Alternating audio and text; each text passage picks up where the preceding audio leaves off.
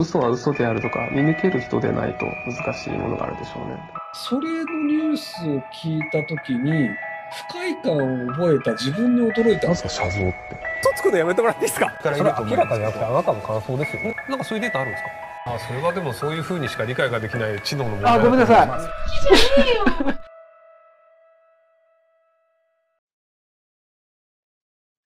まあ、とはいえ、あの、こうなんか、ね、ネトウヨ系の人たちが、なんか高市さんをこう一生懸命応援しようとしてるので思い通りにならなかったっていうので、こう石破さんをこうバッシングしているネットの人たちってのは割と多いなと思うんですけどね。まあ、高市さんもあの、パンフレット配っちゃってるとか、あとその、あの、金利上げるのがなんか、なんだか、金利を上げるのはバカだっけ？金利を上げるのは良くないみたいな、なんかその日銀に対して言っちゃったっていうのが、あれがやっぱりその、経済畑からするとやべえなっていう感じがしちゃったんですよね。要するにその、えっと、日銀、日本銀行というのは あのね、これ僕言わなかったんですよ。あの、写真を見て、なんかあの、その、なんか、イッテ Q に出てる人の眉毛っぽいなと思ったんですけど、これ言うとなんか女性に対して言うことになるから、あの、ルッキムズムになるかなと思って、あえて言わなかったんですけど、あの、よ、よく、あの、その顔のね、大きめに写ってる写真見てください。あの、完全に眉毛描いてるんですよ。で、その、描いてるのがね、結構太いんですよ。だからその、あれ？なんか、井本さんですか？っていうふうに思って見始めると、もう井本さんにしか見えなくなっちゃうんですよ。本当にすみません。本当にすみません。はい。顔は関係ない、顔は関係ない。はい、すみません。はい。そうですよね。はい。まあ置いといて。で、その、要は日銀が金利を上げるかどうかというのは、あくまで中立である日銀が独自の判断でやるべきであり、中央銀行というのは政府にコントロールされるべきではないというふうに、まあ多くの先進国を考えてるんですけど、なので、その、あの、こうした方がいいよねとか、こういうふうな方がいいよねという要望だったり相談はするんですけど、何々するべきとか、何々するのはバカみたいなのは、やっぱり言うべきではないよね、総理であれば。っていうところが、やっぱ高橋さん分かってないのかなっていうところだと思うんですよね。世界日報という名前なのに、統一教会と知らなかったという高市早苗さんはは、嘘ついてるのか、調査能力のあるスタッフが一人もいないのか、どっちですかね。いや、だからあの、リフレ派でもいいとは思うんですよ。なので、リフレ派として、政府として、じゃあ、なんか、あの、国債ばらけまくるとか、じゃあ、法律変えて、あの、なんか、あの、もういろんな国債出します、建設国債出しますとかっていうのをやるのは全然いいと思うんですよ。で、ただ、その、日銀の独立性というのが大事だよねっていうところ自体があまり理解されてないとすると、やっぱりその、経済どうなのっていう、リフレ派っていうのは、あの、えっ、と、日本は日本円で動いているので、円でいくら借金をしても何の問題もないと主張している一部グループっていうのがいて、あの、本来のリフレ派とはまたちょっと違うんですよね。あの、本来のリフレ派だと、ある程度、その、あの、通貨をこう、あの、膨張しまくって、で、通貨安にするというので、ある程度バランスを取ることが可能だよねっていうところだったんですけど、最近だとあの、いくらでもこう、あの、円を吸ってもいい。なぜなら日本円でしかみんな払い、あの、支払いをしないから派閥っていうのがいて、要するにその、日本円がどれだけこう、世の中に流通するのが増えたとしても、みんな日本円で給料もらって日本円で商品買うんだから、日本円が紙切れになるわけないじゃん派閥っていうのがいて、で、そういう人たちって、あの、1年ぐらい物価が高くなったっていうのをすっかり忘れてるんですよね。要するにその、あの、円をすりまくって円の価値が下がると、結果として外貨の価値が上がるんですよ。いや、ドルが高くなるんですよね。なので、あの、昔こう1ドル100円だった時に、なんかじゃあ、あの、100円出したら缶ジュース1本買えたよね。でも1ドル150円だと、100円だと缶ジュース買えなくて、150円出さないと缶ジュース、缶ジュース買えないんですよ。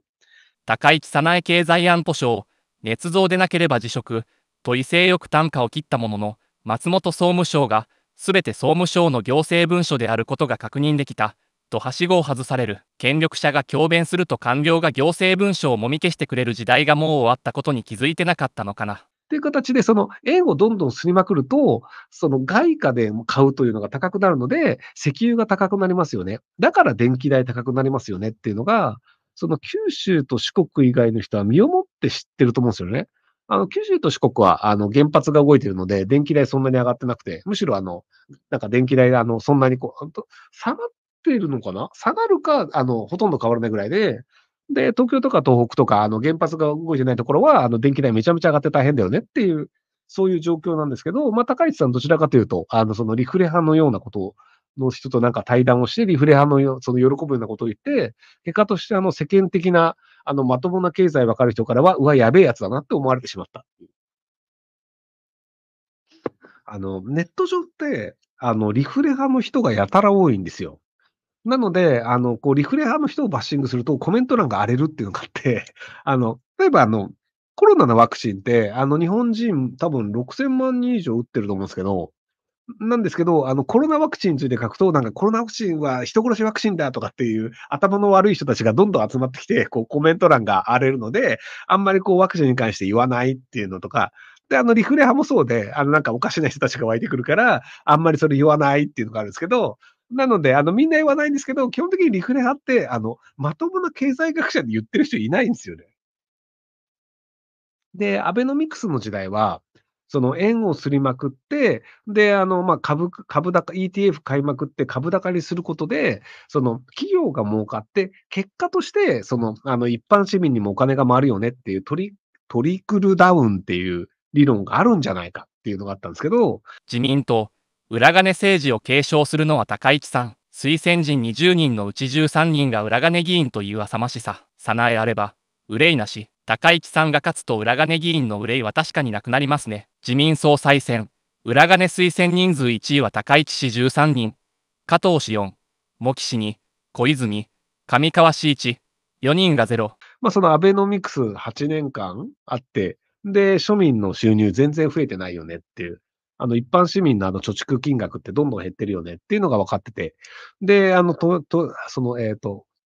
トリクルダウンっていうのを言っていた、あの、イェール大学の浜田先生っていう人も、トリクルダウンありませんでしたって言って、あの、ちゃんと自分の間違いを認めて謝ってるんですけど、まあ、未だにその、リフレ派と言われる MMT 派の人たちっていうのは、なんかあの、こう、アベノミクスは正しいんだって言ってて、んで、高市さんもアベノミクスは間違ってないって確かに言ってるんですよね。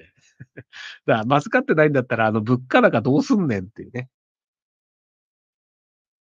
まあ、そういうところで、なので、あの、高市さんのどちらかというと、オウンゴールっていうのが結構大きいんじゃないかなと思ってて、その多分、あの、リフレ派とかによらないで、普通のこと言ってたら、多分もうちょっと支持された可能性あると思うんですよね。だからその、あの、おかしな人たちに支持されてて、で、おかしなことを言い始めてて、ちょっとこのおかしなのが自民党の中で主流になるとまずいよねというふうに、あの、自民党の国会議員の人たちが思ったっていうところが大きいんじゃないかなと思うんですよね。まあ、ルール守んないっていうのもあるし。だから、あの、高市さんが、あの、集めた推薦人20人のうち13人が裏金議員だったんですよね。で、その裏金議員の総額合わせると確か9000万円とかで、要するにその裏金議員のなんか駆け込み寺みたいになってて、で、じゃあその裏金議員がその持ち上げた高市さんが勝ちました。で、じゃあ裏金議員がそのなんか大臣とか要職に就きますってなっちゃうと、やっぱりあの次の選挙勝てないよねっていう、あの国会議員の、その自民党の国会議員の人たちって、やっぱりあの次の選挙に自分が勝ち残れるかどうかがすごく重要なんですよ。やる気のある無能な見方は、敵より怖い。現象ですね。高市氏は一部の過激な支持者が SNS などで他の陣営に対して攻撃的なスタンスを取ることがあった。これが悪目立ちした結果、支持者を決めていなかった党員らが逆に高市氏を敬遠してしまうような現象が見られていた。実はあの国会議員というあの先生と呼ばれて、なんか何もしないで年収3000万プラスなんか納税しなくていい通知費1000万円合わせて4000万円みたいなのもらえる職業と、意識の高い無職っていうのが、その当選と落選で変わるんですよ。やっぱその意識の高い無職はやばいよね、選挙がたいけないよってなると、やっぱりその裏金議員が、まあその裏金問題でやっぱりあの自民党支持率下がったっていうのは現実としてあるので、あとその統一教会の問題に関してもやっぱり支持率下がったっていうのがあるんですけど、で、高市さん、統一教会の、えっ、と、あの、秘書を確か受け入れてて、で、なんか、ポスターかなんかも確か貼ってたんですよね。で、そこら辺のあの、統一教会との関係性を確かちゃんと説明しなかったりするので、なんでその統一教会と親和性が高い。まあ、否定はしていない。で、裏金をもらっている議員を集めて推薦人にしたっていうのがあるので、やっぱりこれを自民党の、まあ、あの、頭として出して、で、総理大臣にして、たあの、選挙と耐えるかっていうと、結構きついんじゃないかなっていうのだと思うんですよね。なので、なんか、そんなにこう、なんか、変な支持者を入れなければ、あの、